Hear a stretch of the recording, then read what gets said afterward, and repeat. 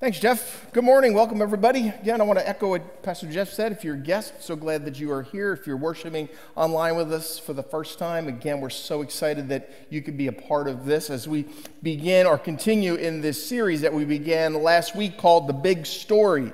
And in that uh, story, what we're looking at is how the the story of the scriptures of the Old and the New Testament, how they tell this story and they reveal to us the uh, the, the, the greatness of God and this ultimate plan that God has for not only for humanity, but for the all of creation and how we can be in a relationship, how we can connect to this great God. And last week, uh, I began that series by talking about how God put all of creation into place and how the world is not as God intended, though. That while God put it all into place, He gave humanity a choice. And in choosing, our world has become skewed and marred and different than God had intended. And it's because of humanity's choice and continued choices that it is not God's dream for the world.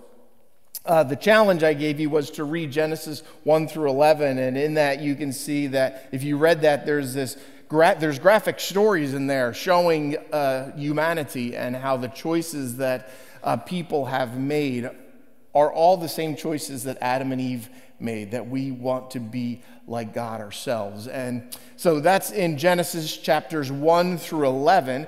Chapter 12 takes a shift and it moves from the story of all of humanity to the story of one person, as uh, Randy on that video shared with us. It's the story of Abraham, how this one man and this one family, and soon to be one nation. So, if you took up that challenge last week of reading Genesis 1 through 11, this week you can read Genesis 12 through 50. I mean, just jump right in and do it. Uh, you know, you can read a few chapters every day, and this will be the continued saga, continued story, but this now now will focus on this, on this family and on their relationship with God.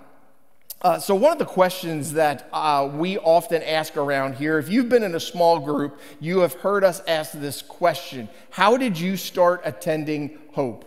Uh, if you're here in the room, just slip up your hand. Have you ever been asked that question? How did I start attending Hope? Yeah, it's like a common question that we like to ask. And uh, often the answers are uh, inspiring and encouraging, and people will tell us that they were invited by a friend, which again is why we had such a great Easter attendance this last year because we chose to take the initiative to offer an invitation, and people received that invitation and said yes.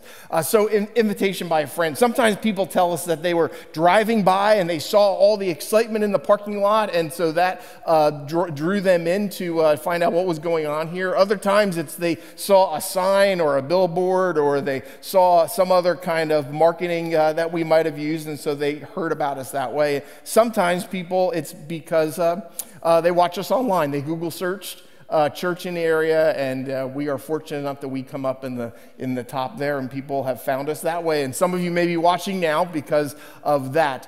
I started asking a follow up question uh, in addition to how did you start attending, I've started asking why did you start attending Hope? And I find that the why is important. Why were you led to find a church home? And sometimes people will say, I was just searching for something. And they'll say, I didn't know why.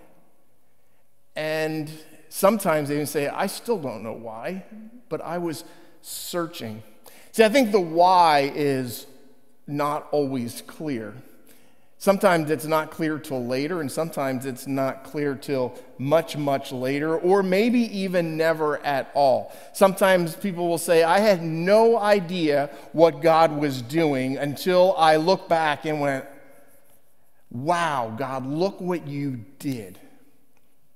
And that's because our life is a series of walking into moments of unknown, right? We're always moving forward into the unknown. So I want to explore that theme of unknown today the idea of what is it like to walk into the unknown and to do that we're going to tell the story and i'm going to continue to echo some of the parts of the story that were shown in our video and read parts of that story as well and the story begins with an invite an invitation to join in something that's unknown. And it's in Genesis chapter 12. It's going to be up on the screen.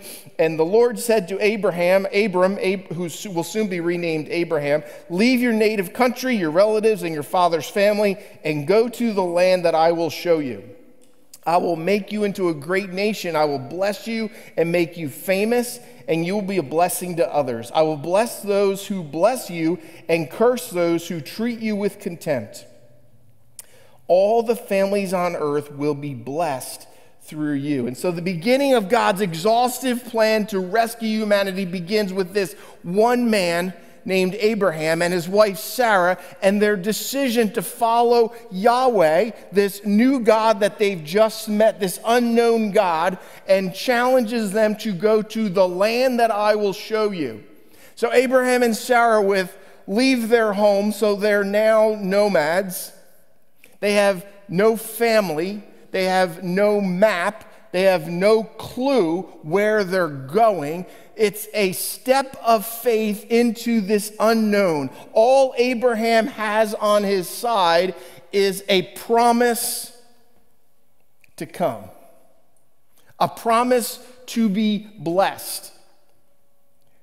Yahweh says, I will bless you and you will be a blessing to others. If you didn't know this, it's, there's some familiar language there that we often say here that that we are in the process of being conformed to the image of Jesus Christ for the sake of others, right? That, that we're blessed and we want to bless others, that for the blessing of others. And so Abraham takes this challenge to go out into the unknown and to follow this unknown God named Yahweh.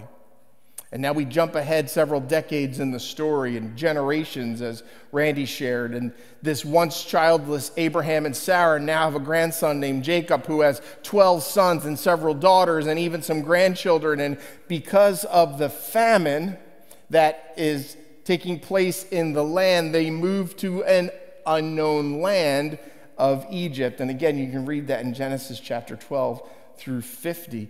Abraham, Isaac, and Jacob's stories. And Abraham's family now stays in Egypt for centuries and they experience exponential growth.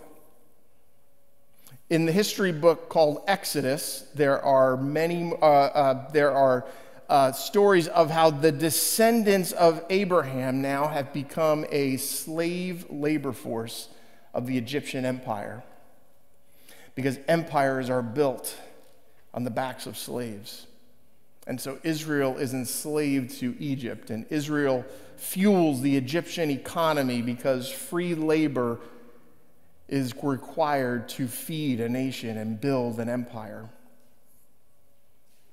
And Moses enters the story and continues this rescue plan that God has for humanity and Israel in particular here in this moment. And so, after a dramatic battle between Israel's God Yahweh and the Pharaoh of Egypt, the Israelites are told to walk out of Egypt and head to this unknown place. And so you read that in Exodus chapters 1 through 13. And so we're moving quickly through the story. And Pharaoh, after telling Israel that they can leave, changes his mind. So the Israelites have quickly packed up. They've quickly uh, about to leave their life of slavery, and there's a brand new day entering the unknown of freedom. But Pharaoh has changed his mind. So after the Israelites have left, they get word that Pharaoh is chasing after them. It's possible that Pharaoh recognized that there would be a potential economic collapse with the loss of this free labor force. And so he brings an army of chariots, which would be the modern day equivalent of a tank.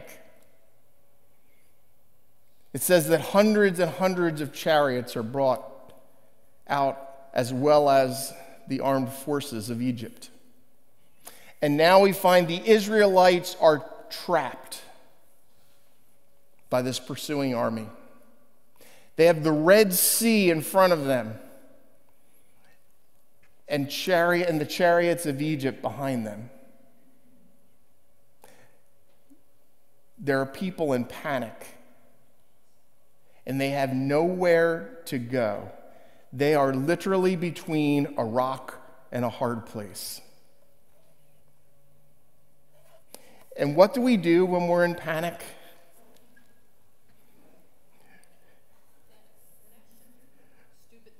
Stupid thing. You know, a lot of answers are coming out, and I, I, didn't, I didn't expect it to be audience participation, but I'm glad. That's great. Glad you're engaged. Glad you're part of that. Uh, that's a good thing. Uh, and, and yeah, we do all those things you just shared. And we panic. And we, um, we play Monday morning quarterback. At least that's what I do. I start to think, oh, if only I'd done this, if only I'd done that. And that's what happens in this story. Uh, it's going to be on the screen. As Pharaoh approached, the Israelites looked up and they saw them, Egyptians, coming at them. They were totally afraid. They cried out in terror to God. These are all the things you all just said. That's what we do, right? And then they told Moses, Weren't the cemeteries large enough in Egypt so that you so that you had to take us out here in the wilderness to die? What have you done to us, taking us out of Egypt? Moses, it's all your fault. Back in Egypt, didn't we tell you this would happen? Didn't we tell you, leave us alone here in Egypt? We're better off as slaves in Egypt than as corpses in the wilderness.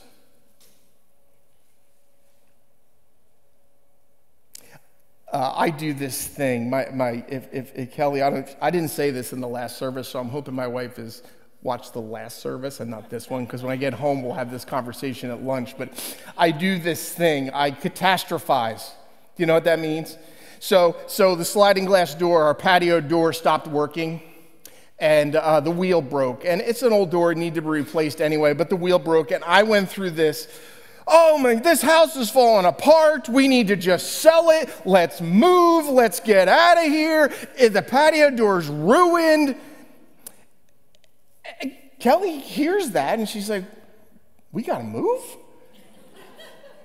And then I have to get all that out. And then 10 minutes later, I say, All right, I called somebody. I think they're going to be here and it's going to cost us such and such. And, and then she'll say, Don't we have to move? Like, no, why would you think that? Well, you just said that. And you think I'd learn, but the same thing happens with the car right? Or the same thing happens with you name it. For me, I catastrophize, right? I'm doing this, right? I'm, I'm, I'm this. The Israelites are surrounded by unknowns. And when I have the unknowns in my life, I find myself doing the same thing. See, the Israelites, they've got suitcases instead of swords. And they definitely don't have chariots. And they want to turn back. Let's just sell the house. See, they're sure that Pharaoh and his army have won. But don't miss this. This is one of Moses' greatest leadership moments. And it's our takeaway for today. It's up on the screen. Moses spoke to the people. After all of that catastrophizing that they just did, Moses spoke to the people. He said, Don't be afraid. Stand firm and watch God do his work of salvation for you today.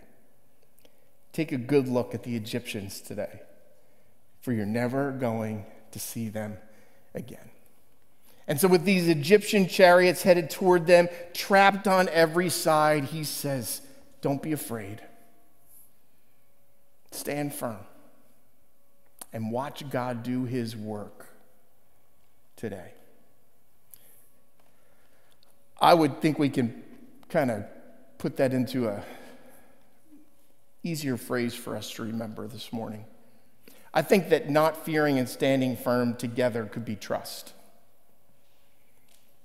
I would argue that God wants us to hear today and in the days ahead as we walk through unknown moments.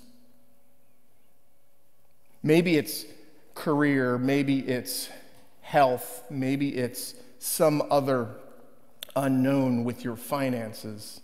Or maybe it's something silly like a patio door. And God wants you to trust and watch God work. Maybe it's your there's the unknown of I'm trying to figure this spiritual thing out and I can't. And I don't look like that person, I don't act like that person, and I'm just figuring out what it means to follow Jesus. Maybe God wants you to just trust and watch God work. See, the Israelites had the Passover, and during that Passover, they were introduced to who Yahweh was, and it marked the end of slavery for Israel. But the Red Sea, the Red Sea was the Israelites facing the unknown and entering the unknown and initiating the beginning of a new life with God. You see, we can sing a song like, I see evidence of your goodness all over my life, all over my life, all over my life, and still on Monday say, God, where are you? All over my life, all over my life, all over my life. But we can trust and watch God work.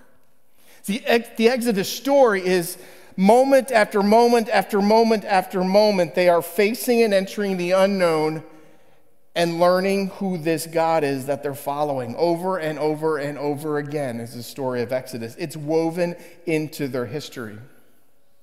This story of trusting and watching God work. So, that story that I just shared is referenced by the Apostle Paul. So he was writing, uh, Paul was a missionary who built churches up and down uh, uh, the Mediterranean Sea area, and he uh, was a follower of Jesus in the first century.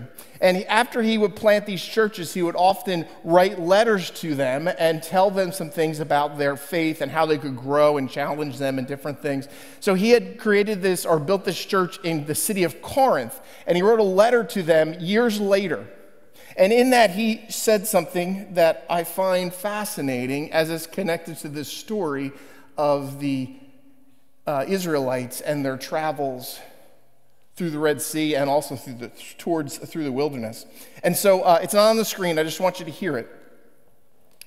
Paul says, I don't want you to forget, dear brothers and sisters, about our ancestors in the wilderness long ago. All of them were guided by a cloud that moved ahead of them, and all of them walked through the sea on dry ground. And in the cloud and in the sea, Paul says this all of them were baptized as followers of Moses. All of them, he says, ate the same spiritual food. That's the manna that fell from heaven. And all of them drank the same spiritual water. That's one time Moses struck a rock and water came up for the Israelites. And Paul says, For they drank from the spiritual rock that traveled with them, and that rock was Jesus, Paul says. See, for Paul, Israel was baptized by this Spirit of God, and the walk away from Egypt through the Red Sea was like a baptism for them. And even more than just like a baptism, Paul was saying that for, for the same Jesus that is with the Corinthian church Paul says. The same Jesus that is with us today is the same Jesus that was with the Israelites even then. So, just like last week, the creation story, John in John 1 says, The Word was God, and the Word was with God, and the Word was present. Jesus was present at creation. Here we find Jesus is present in this moment as the Israelites are crossing through the Red Sea, that they passed from the dry lands of Egypt into this unknown land of freedom. And God's rescue always leads to this unknown process of transformation. Trust and watch God work. And it's going to look different for every person. I was talking to someone the other day, earlier, actually, the end of this week, and we were talking about spiritual life and talking about growing in our faith. And, and his thought was, and his comment was, I, I, I, I don't, I, I don't, I don't say the things you say. I don't do the things you say. He's talking about me. I'm like, probably it's good.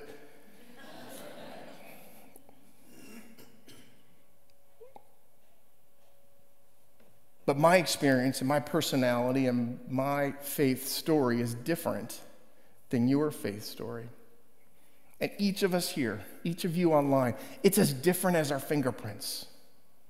That's why we talk about it as a process.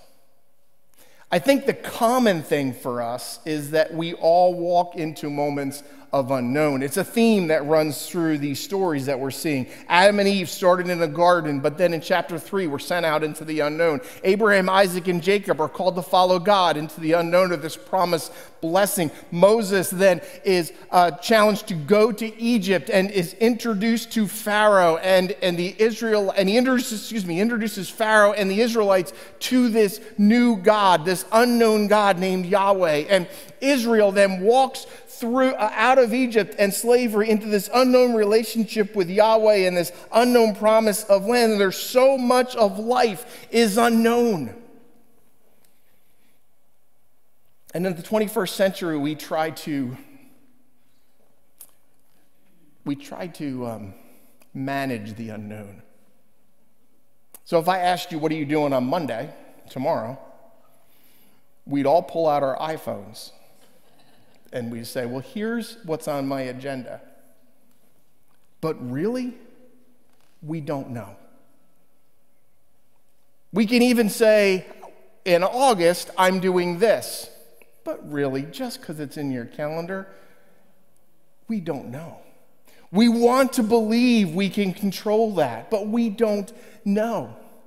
There's so many what ifs, so many unknowns in life, and it's scary and it's overwhelming and it's uncertain and it's also exciting. Because if you knew every moment from today till your last day, how boring of a world that would be. And that's why, that's one of the reasons I think God is comfortable moving us toward the unknown because it's when we're in the unknown when we get to know God best. It's when we can trust and watch God work. And then we can sing, Only ever good, only ever good. You've only ever been good to me. So, Paul the same Paul that wrote a letter to the Corinthians was actually quite a prolific writer. He wrote a lot of letters. And he wrote another letter to a church in Ephesus. And I want to wrap up with this. It's in. Uh, it's going to be, this, I think this one's on the screen. I might surprise you. Yes, it is. Uh, so, Ephesians chapter 2. Now, God has us where He wants us. Let me say that one more time. Now, God has us where He wants us. Is that good to hear? You may be facing all sorts of uncertainty. God has us where He wants us. With all the time in this world and the next to shower grace and kindness upon us in Christ Jesus. You may feel like you're trapped by time, but God has all the time in the world. Paul says saving is all his idea and all his work. All we do, oh, this sounds so familiar, doesn't it? All we do is trust Him enough to let Him do it. Trust and watch God work. Because it's God's gift, Paul says, from start to finish. We don't play the major role. If we did, we'd probably go around bragging that we'd done the whole thing ourselves, right? Oh, sorry, I added ourselves. The whole thing. No, we neither make nor save ourselves. God does both the making and the saving. He creates each of us by Christ Jesus to join him in the work he does, the good work he has gotten ready for us to do, work we had better be doing. So, the challenge today trust and watch God work. But no, it's not, it's not a magic pill, it's not even a one time prayer, it is a process and with all the time in this world and the next to shower grace and kindness upon us. God chooses to work in us and through us. And for each of us, it's going to look different. We say that discipleship is the process of being conformed, it's the process. It's not a one time prayer, it's not a magic bullet, it's not a magic pill, it's a process. And our role in this, trust and watch God work. Paul said, saving is all his idea and all his work, and all we do is trust him enough to let him do it.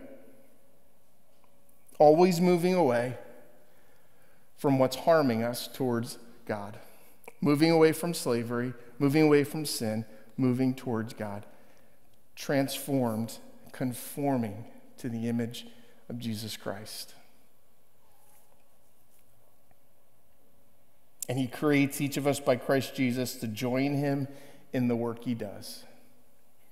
Someone at the end of the last service said, I think God's calling me. I don't know what a calling is, but I think God's calling me. and I said, Well, let's talk about that. I said, You know, it's kind of what Jesus does. He invites us into a relationship with Him and then invites us to build the kingdom with Him. He creates each of us by Christ Jesus to join Him in the work He does, the good work He has gotten ready for us to do, work we had better be doing. For the sake of others, a blessing to others. We get to build the kingdom with God. Will you stand with me for closing prayer? And so, God, I pray that we would learn to trust and watch you work. That, God, like the Israelites, we would, uh, while we feel that we're being pressed by an enemy coming towards us, possibly, and there's an unknown future ahead, God, I pray that we would learn to trust and watch you work.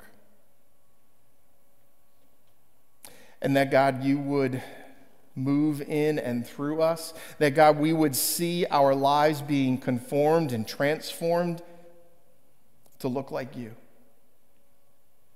And that God, we would listen for your voice and we would see where we can be a blessing to the world around us, to see where we can allow our lives to bring goodness and life and joy into our world and into our workplaces.